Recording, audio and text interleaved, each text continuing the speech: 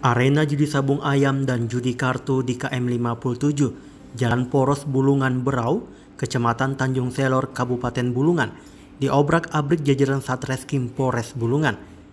Setidaknya, pada perkara ini ada dua orang pelaku berinisial SI dan MI yang berperan sebagai wasit dan bandar judi yang berhasil diamankan di tempat kejadian.